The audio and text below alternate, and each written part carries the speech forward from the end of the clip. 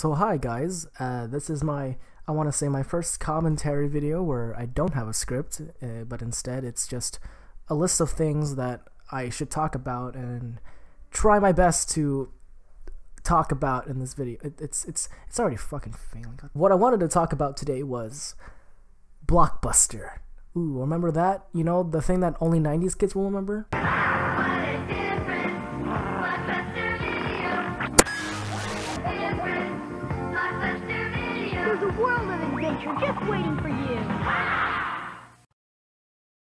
So it has come to my attention that Blockbuster has shut down yesterday on Saturday at 10 a.m. I believe, and uh, I I have some really really memorable moments back in Blockbuster.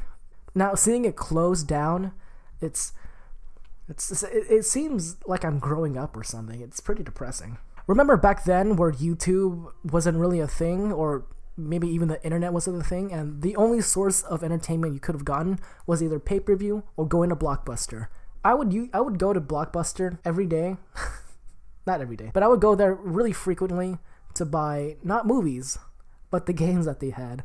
I mean, it, it was really weird.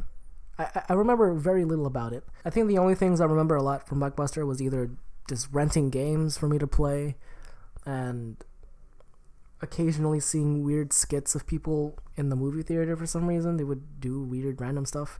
I don't even know.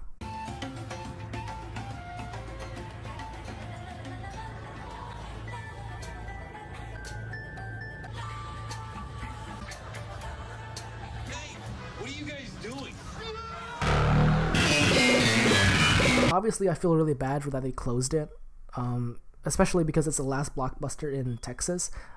I was planning to drive there one day and just you know take a look into nostalgia and going inside, but uh, if I if I look back, it's just gonna be closed, and that's really gonna suck.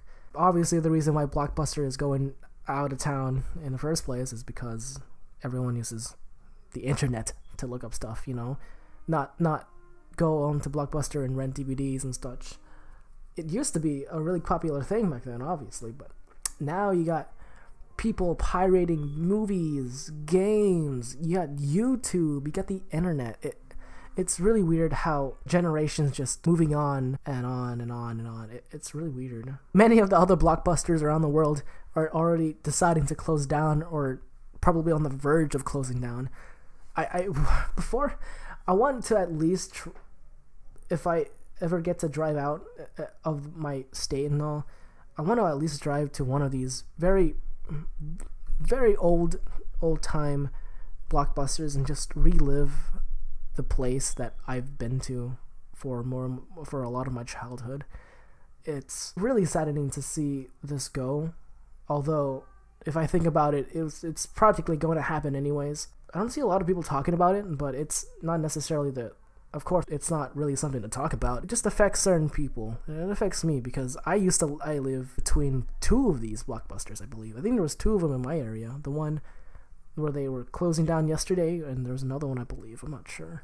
So yeah, this was just a small little talk of the last blockbuster in the state of Texas.